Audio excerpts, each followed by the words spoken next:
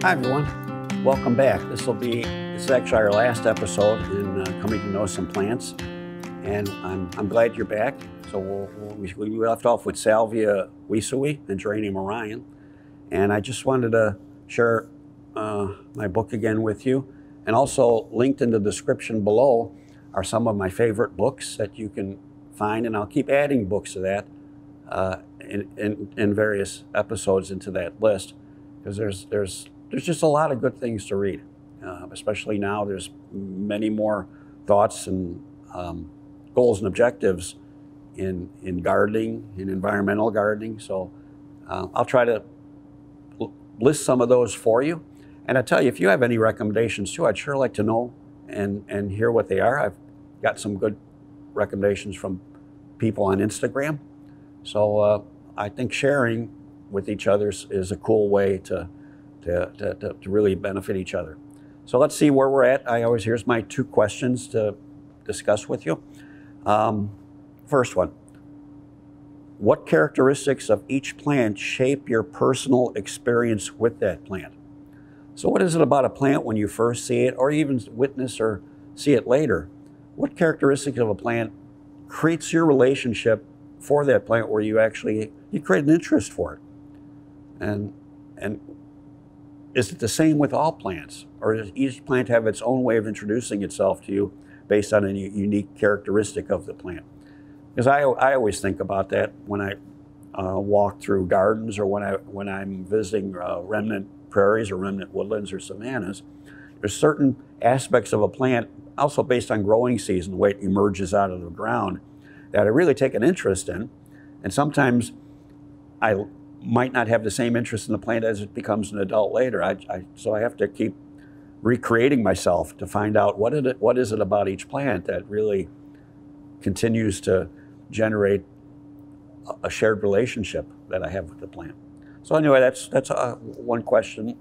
The other one, is there a particular way you begin to sense a closeness to your plantings as they develop from youth to maturity? So is there a particular way that you can relate to a planting when it's youthful and as it ages?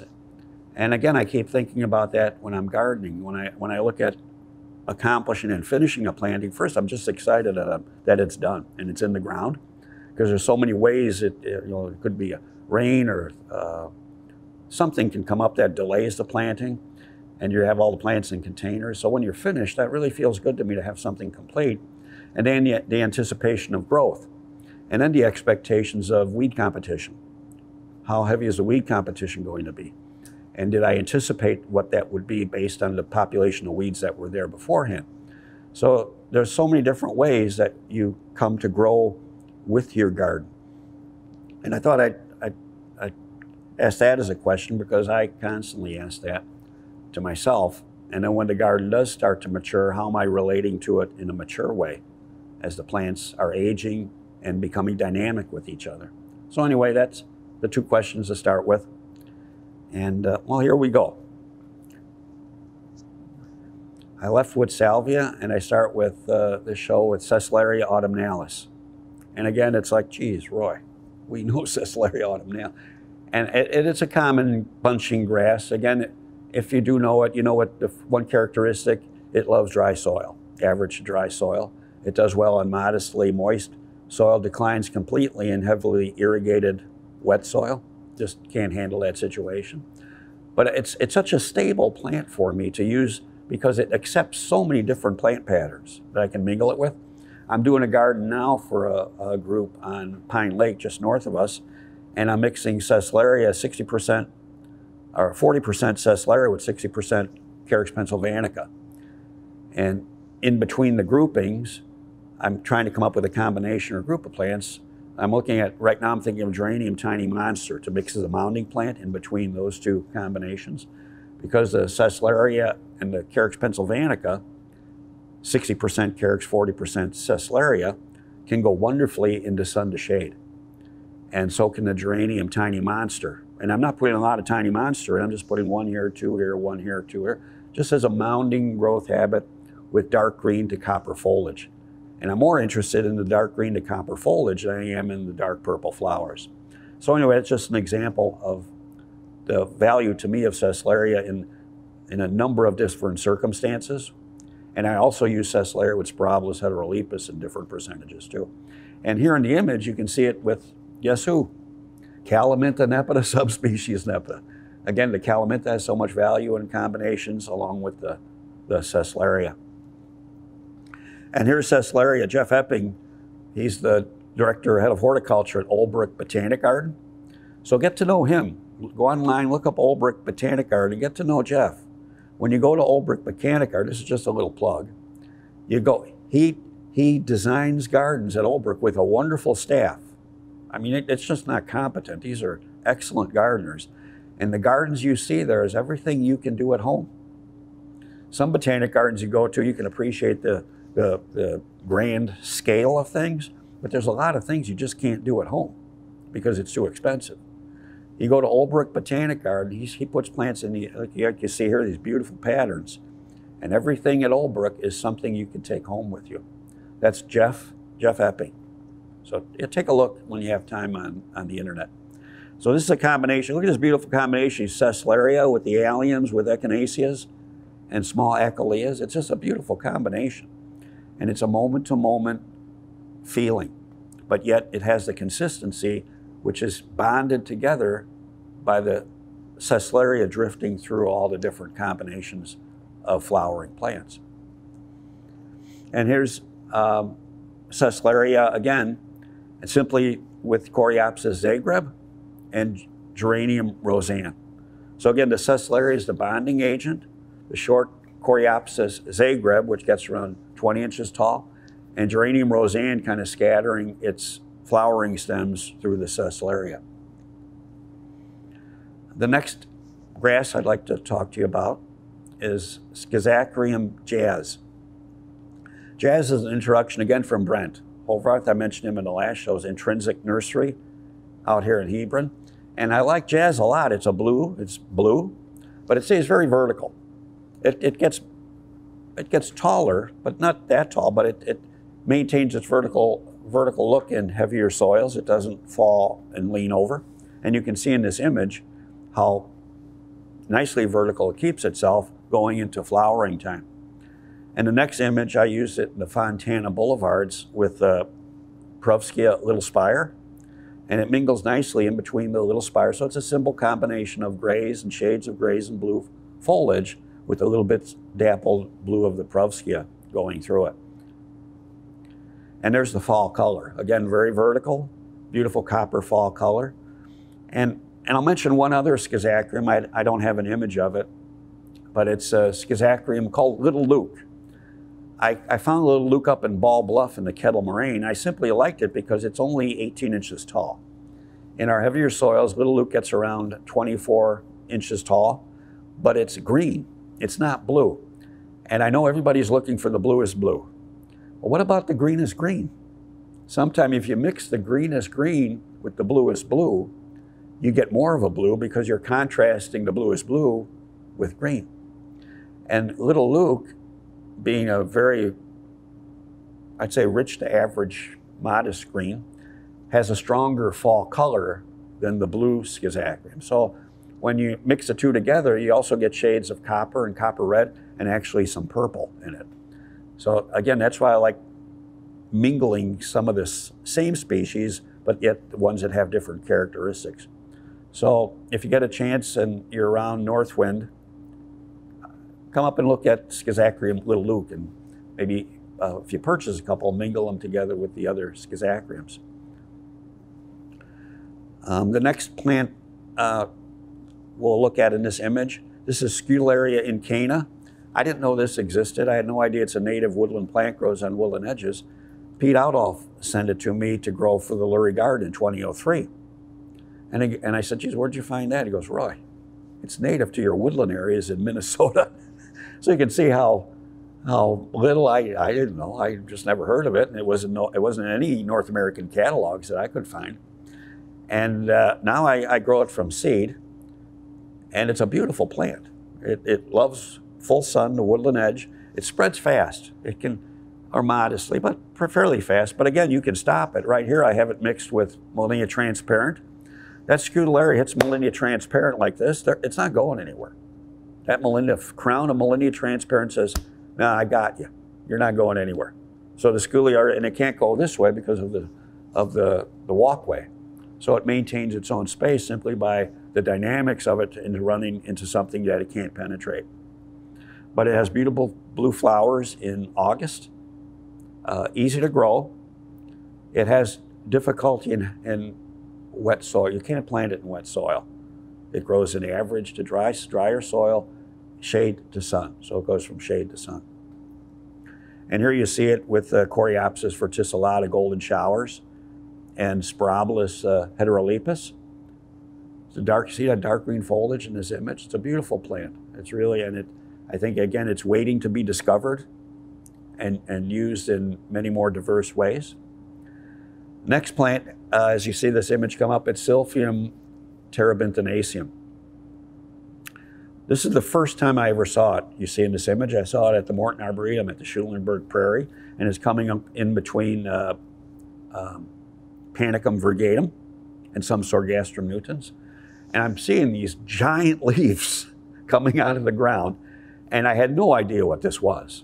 I didn't know if this was a good plant, what humans characterize good or bad. I don't. But I thought, my God, that is the most beautiful thing I've ever seen. And this is the picture I took because I had to find out what in the heck is this plant coming with this foliage. And then when I felt the foliage, and I did that, I'm an outdoor ed teacher. I touch everything. You know, I we used to have kids, I'd put a bunch of stuff in a box, put the lid on the box, cut a hole, and I said, come here, stick your hand in that box, tell me what you feel. Nine out of 10, nine out of 10 urban kids would not stick their hand in that box. I go to a rural community when we was at Western Illinois, every kid in the world is sticking their hand in that box. They wanted to feel everything in that box. And for some reason, urban kids, ah, they don't want to, they don't want to do that. Tell me what's in the box first, then I'll stick my hand in the box.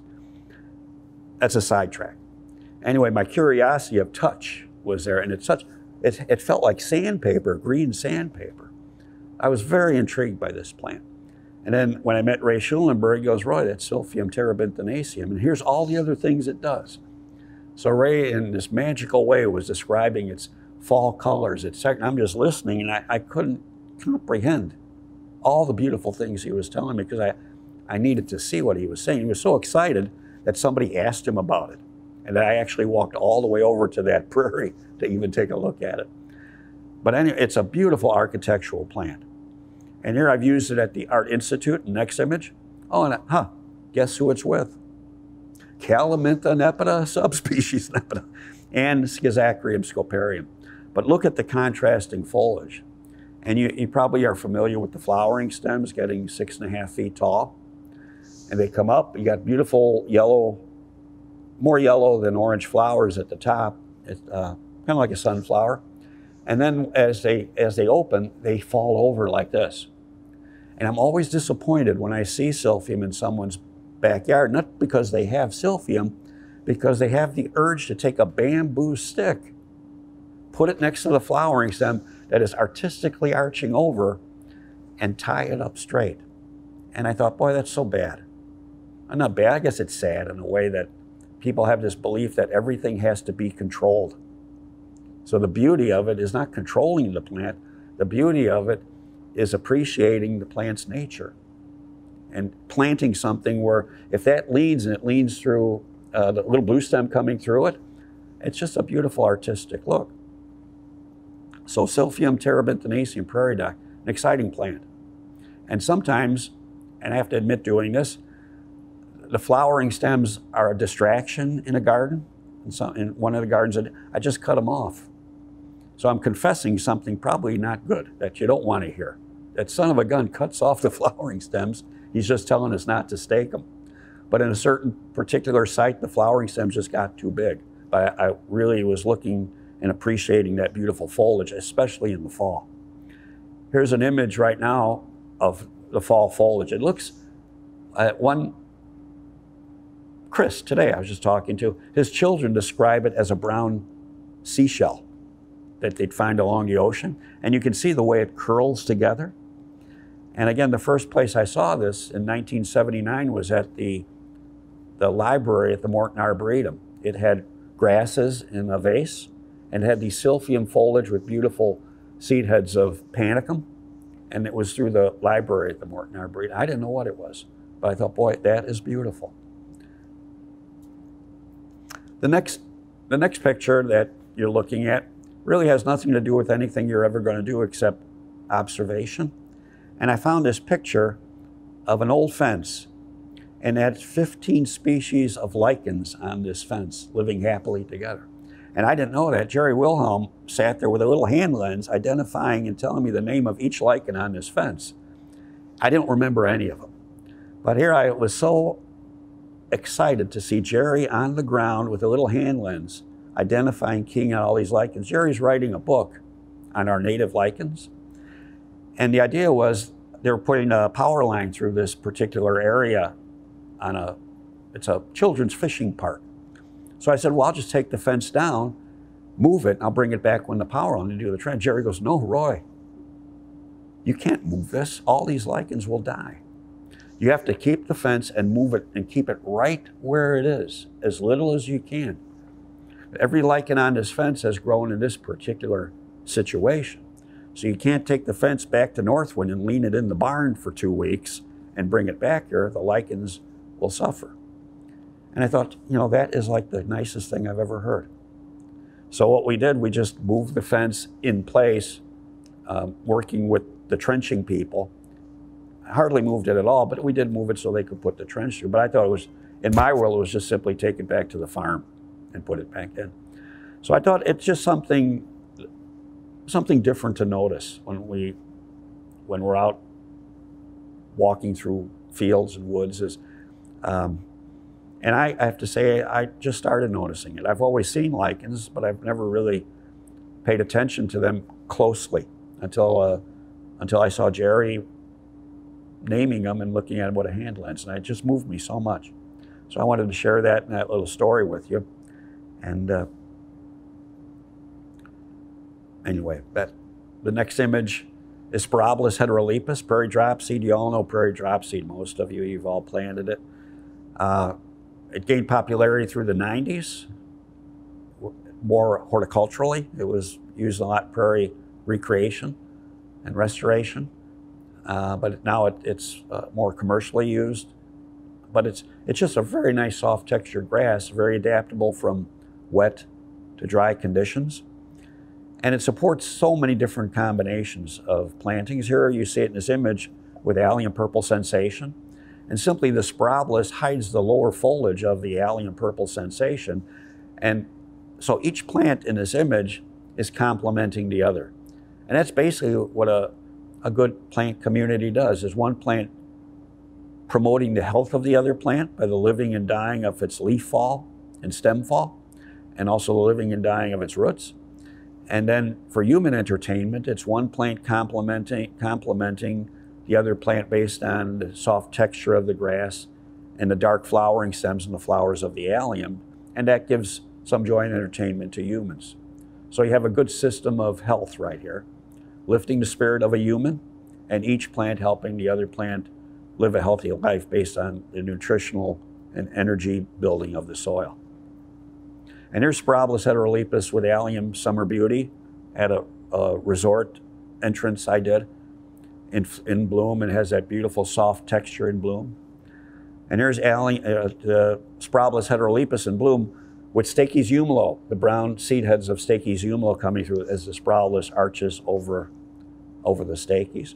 So basically in these three pictures, I was, I'm, I'm just trying to show the excitement of Sporobolus just in three different images using three or four different plants. And it was back to what I mentioned before. The possibilities are endless, really. There's no, there's no stopping.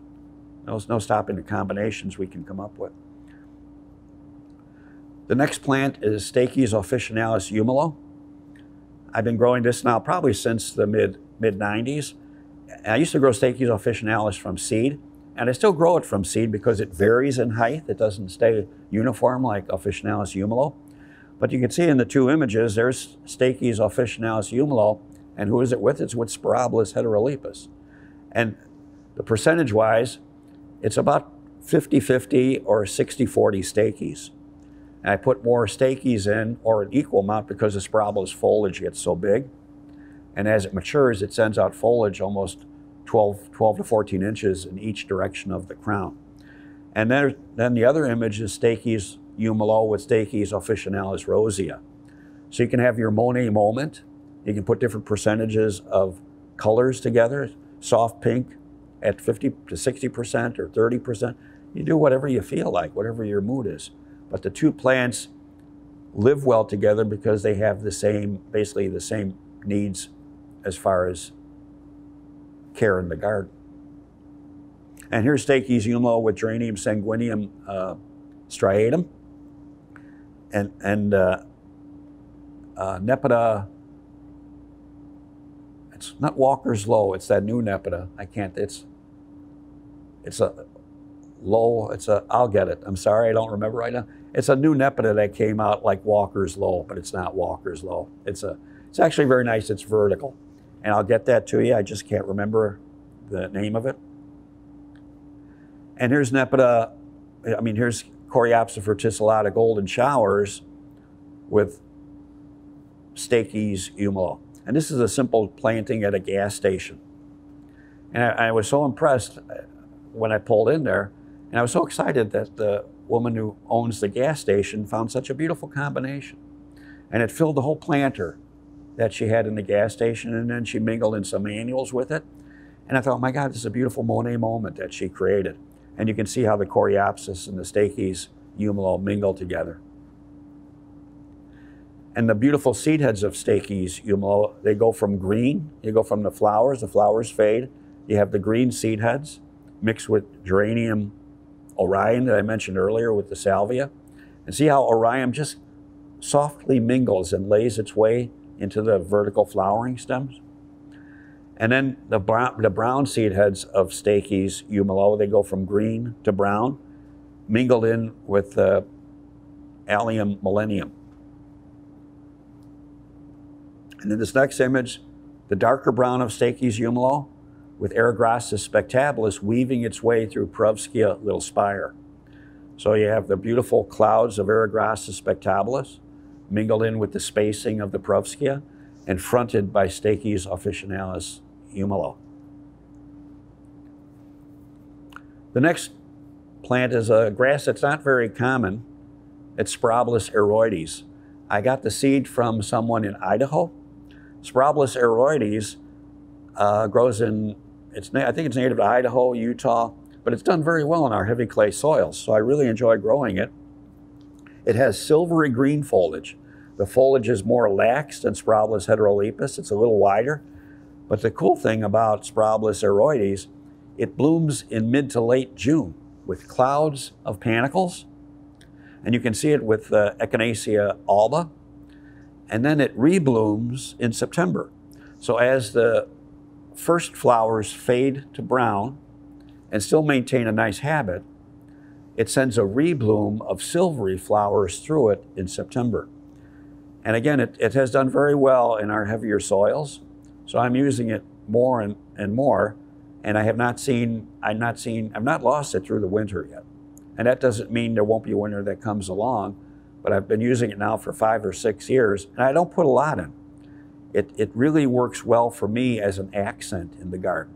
Three over here, two over here, four over here, and then I have other grasses, more tight clumping grasses like Sesleria that I would mingle in to keep a vertical look.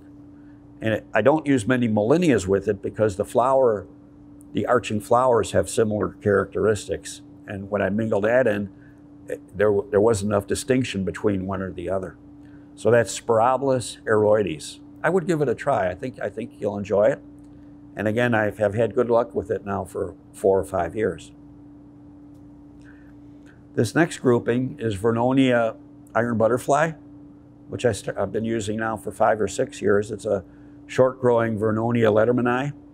And there's a lot of new selections out right now uh, um, that are a little bit taller of the Vernonia, hybridized with the lettermani genetics. And this is mixed with Solidago Golden Fleece. I like Solidago Golden Fleece a lot. stays in clumps, it doesn't reseed anywhere. It's a Solidago, and there's very few of them that respect their space. So I use Solidago Golden Fleece right away. I have no problem with it. It doesn't seed around, it doesn't spread by rhizomes. And look how nice it mingles with Vernonia lettermani, which is also a clumping plant that I have not seen reseed or spread itself around either. So it's a very controlled plant grouping plant community. And another plant I discovered, uh, Bluebird had it. It's and, and I, it's curious. They still haven't given it a species. It's called Solidago Wichita Mountain. And discussing it with them, it comes from the Wichita Mountain area, and there's not a species associated with it. But I like its vertical spikes of flowers, similar to one we have called Solidago speciosa. But if when I use Solidago speciosa, it's like buckle up. Because Solidago speciosa, if you put it in early, it seeds everywhere. So I have not used Solidago speciosa. Again, when the garden is three to five years old, I can put it in. And I still don't use a lot, I just use it an accent. When I discovered Wichita Mountain, I had that same vertical accent with the spikes. Solidago Wichita Mountain, I haven't seen it seed anywhere in the garden. So now I have two, go, two go-to goldenrods that I can use early in the garden's life and that's Wichita Mountain and Golden Fleece. So if you have an opportunity, I know Bluebird has it in liners and also Stonehouse Nursery. You ought to get Stonehouse Nursery's catalog. They have an excellent variety of small liners. I believe they're only wholesale, but you can get their catalog and maybe recommend your local your local nursery look at some of their plants and pot them up for you. They're, they're an excellent nursery in Michigan at Stonehouse Nursery. We're getting to the last plant, and there's always that say, save the best for last. But I haven't done that because I think I've been describing the best best to you.